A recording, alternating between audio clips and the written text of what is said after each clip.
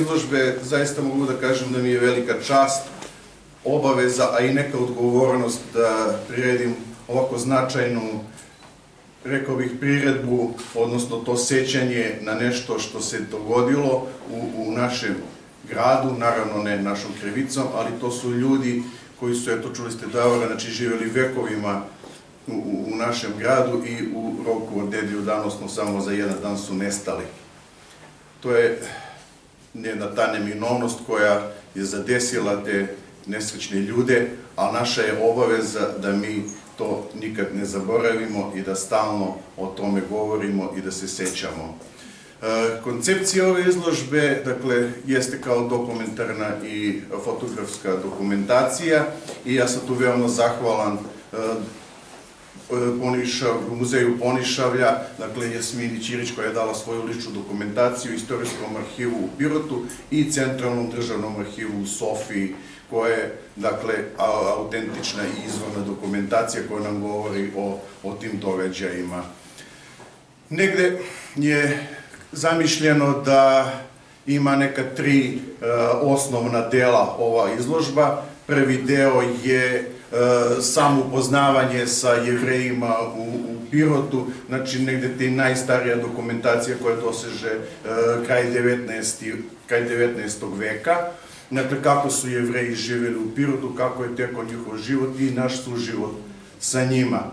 Centralni deo je u stvari taj drugi svjetski rat, odnosno bugarska okupacija, odnos e, okupatora prema jevrejima i E, sam egzodus e, pirotskih jevreja. E, ono što čini srž ove izložbe, to je pismo Leona Sida, preživjelog iz tog holokausta, koji je 1944. godine to pismo uputio konzulatu Kraljevine Jugoslavije u Jerusalimu.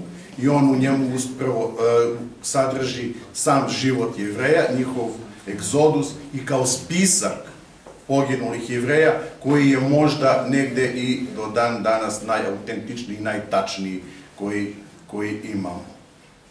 Poslednji deo je ono što mi i sada radimo i što je rađeno i pre nas, znači ono što težimo i što bi zaista voleli da se nastavi, a to je to sećanje na naše pirotske jevreje. E, tu je možda na početku bio najzahvalniji naš tadašnji sugrađanin, sada pokojni e, Živković Hristifor Cikan, koji je u e, lokalnom listu Sloboda objavljivao svoje članke i podsjećao na ovu grupaciju.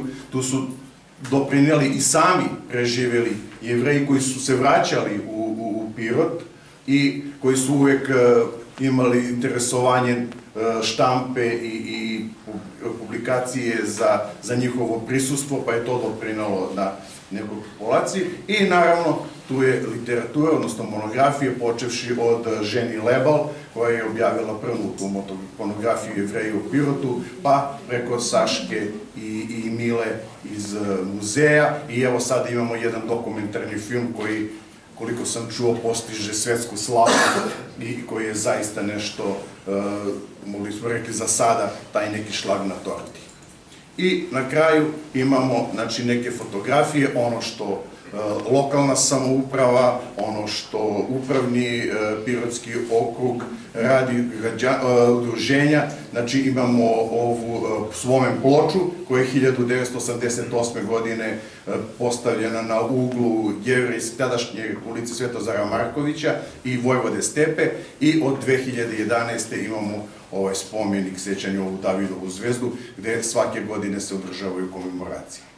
Ja bih vas uputio na ove table, znači to je negde oko 39 tabli. E, gore imamo generalni naslov, 80 godina od stradanja pirotskih jevreja, ali je za praćenje uopšte izložbe jako e, poželjno ovaj podnaslov, znači koji upućuje na, na, e, na dokumentaciju koja priča neku priču. To nam je cilj, dakle, da odvojite malo svoga vremena, da, da se malo udupite u, u ova dokumenta. Nadamo se da će, kada prođete ovu izložbu, da, da ispriča tu neku priču koju smo mi želili da, da poručimo. Ako zaista to uspete odavde da izađete sa tom nekom pričom o, o pirotskim jevrejima, znači da smo uspeli.